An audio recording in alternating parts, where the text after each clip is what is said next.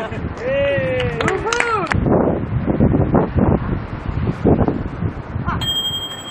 right, the best for the last, they say, and also the least prepared for the last, because my slide has gone. I didn't put sunscreen on. Well, it's sunny outside. I forgot my sunglasses. and all this preparation might seem a bit trivial, but people in San Francisco, in Tokyo, and in Istanbul also don't have preparations for an earthquake. Simply because they don't know when it will happen. When will their city be destroyed by a big earthquake? Um, and people, of course, want to know. They want to protect their Golden Gate Bridge, their Hagia Sophia, and their wannabe Eiffel Tower in Tokyo. Um, and for this, they asked scientists, can you tell us when the big earthquake will happen?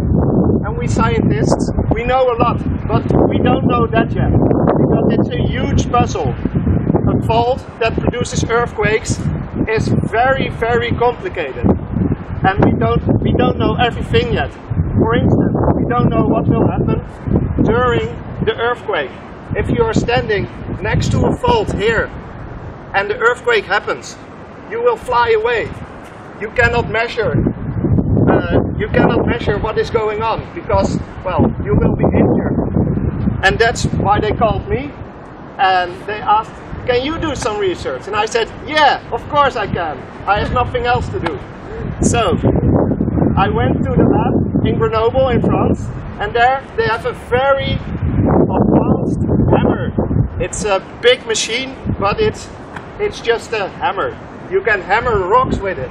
And this is exactly the same what happens during an earthquake. To the rocks next to the fault, they are also hammered by a shockwave. And I can do that in the lab. And I can try to figure out what will happen to the rocks next to the fault. I can see if they break in two or into multiple fragments, like an explosion. And this is of course very important, because we don't know that yet.